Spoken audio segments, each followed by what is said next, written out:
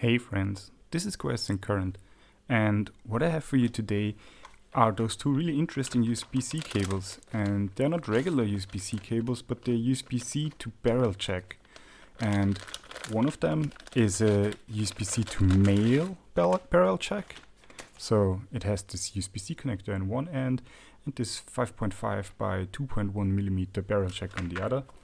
And the second cable that I also bought along has the USB-C on one end and two barrel sockets on the other end. So theoretically, we should be able to connect them together like this and form a really long USB-C cable with a switch in the middle and even have a second output for a second USB-C cable. The question is now, is this a good idea or not? And can I charge my phone with this? Or can I charge any other kind of device with it? Or should we just leave it be? Before we start with that, I wanted to make sure that you know that we now have a uh, YouTube Premium membership for $2.99 a month. And if you want to see more like that, uh, you're happily invited to support the channel and we will have giveaways and early access to videos. With this out of the way, we're going to test both cables. And the question now is, due to the fact that both of them are not regular USB-C to USB-C cables, uh, and just have this barrel jack in the middle, which has two pins, the, the ground and V plus or supply voltage pin, there needs to be some additional circuitry inside the connector. This is due to the fact that with USB-C and cables, we need to be able to distinguish sources from sinks. So we need to be able to know if I connect, for example, a USB-C connector to my phone, if the other end is another phone which cannot charge my phone, or if the other end is a charger which can charge my phone. So the USB IF actually has um, made some way to, to distinguish those in a really easy manner. And this is done by having pull up or pull down resistors. And if I get this in focus, I hope can, you can read it. Yeah, you should be able to read it. You have pull-up resistors on sources. So you have two resistors, one connected to CC1 and one connected to CC2, pulling up to either 3.3 or 5 volts, indicating that this USB-C outlet is a source, so you can actually draw current from it.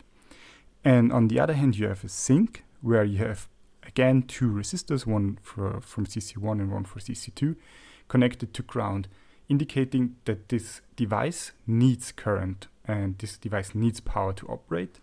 And then in the middle, you have the cable, which has two um, pull down resistors and one CC line connected straight through to be able to distinguish the orientation of the USB-C plug due to the fact that it's reversible.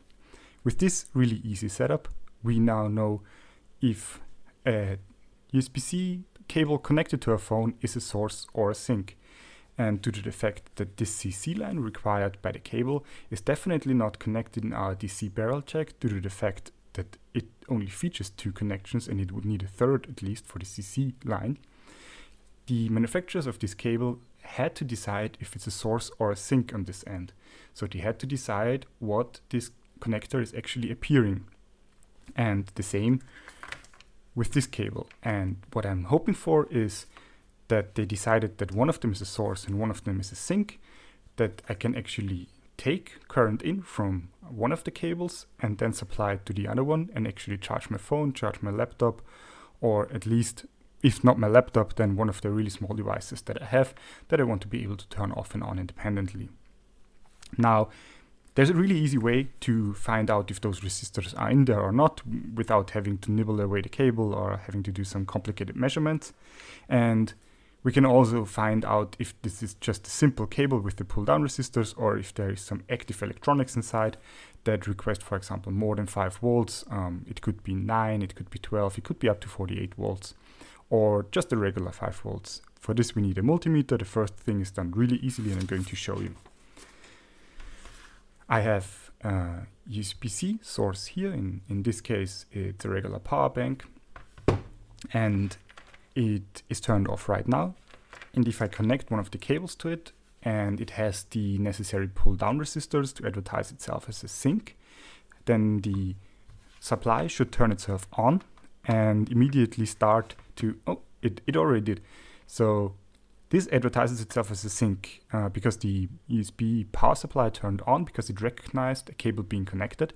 This is also one of the plus sides of USB-C connectors. The power supply doesn't have to provide power at all times like it does with the USB-A connectors. It can just watch for the cable being connected and then turn on. And now uh, that we've not started drawing any current, it turned itself off again because it got it went back to standby.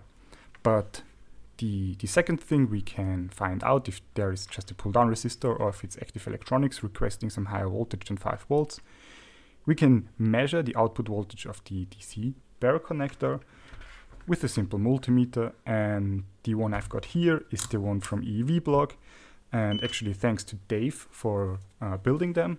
And this is not sponsored in any way. I paid for it full price. But it is a great multimeter and if we connect it and turn on the power bank and we just measure the output voltage, we can see that it's 5.12 volts. So it's just a regular 5 volt output. This means that there's no power negotiation going on and most certainly just one or two pull down resistors inside the connector. Now we can do the same with the second cable that, that I have over here. And now I'm hoping that this one is a source cable. So this one advertises itself as a current source because one of them is a sink and the other one is a source, then I could actually charge my phone with it if I connect them in the right way around.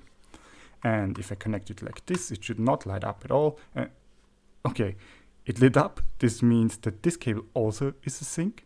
This cable also ad advertises itself as being one that draws power from the power supply. And I'm quite sure that it also just outputs 5 volts, but just to make sure, um, I'm also going to measure that and let's make sure this is turned on and then take a look at the output voltage like this. Ah turned it off again great. Did I turn it on? Yeah so I did turn it on um, but it didn't stay on and if I take a look yeah.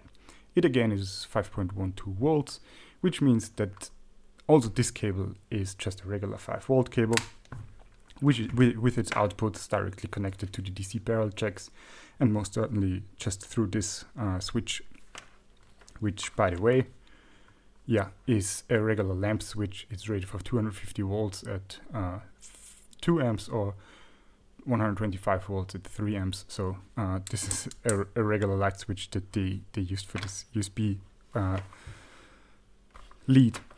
Now due to somewhat surprisingly to me at least reasons both of the cables that I've just shown you are sinks. So if I connect them together like this, that's actually not the way the manufacturer intended them to. Because now both of the connectors advertise themselves as sinks, and if I connect both of them together to devices, they will both try to sink current, but they can actually not, so they will short circuit each other. And if I just connect one to a power source and one to a sink, it will actually not start charging my, my device and I should theoretically be able to show that to you if I connect this one to the power bank and the other one to my phone. Um, then my phone should not be the one to, to start to charge. It should not start charging. And I will put my hand on here so you don't read my notifications. And no. So, oh, did you see it? It, it? it blinked once. My phone blinked once to indicate that it has something connected. But it's not actually charging. So yeah, and now the power supply turned off by its own, and the phone itself uh, left it at that. So the phone detected a cable being connected, but saw, okay, this is a sink that is being connected on the output here, so I'm not going to charge from it. So it just blinked shortly and, and then left it at that, even though it could directly charge from a power bank because it's directly connected through, just with this little barrel jack in the middle. This means that even though it is quite interesting to have USB-C to other kinds of connectors, especially ones that have that have switches in the middle or that have special functionality. It oftentimes is not wise to use it like that or to use them like that because you don't know how they, they're going to behave. You don't know if they're going to charge or not. Even if we connected them like this and my phone would have started charging, any other phone probably would have not. Any other kind of device maybe would have worked for a while and then and then stopped. So it's always wise to know what they are actually connecting to and to know what their USB cable is capable of doing and what it isn't. And with this, I just wanted to remind you of YouTube Premium. Thanks for subscribing. Thanks for leaving comments. Thanks for sharing the videos, especially um, the ones that shared them to some other sites help a lot. And with this, uh, thanks for, for listening. If you have any comments, just put them below and we see each other next week.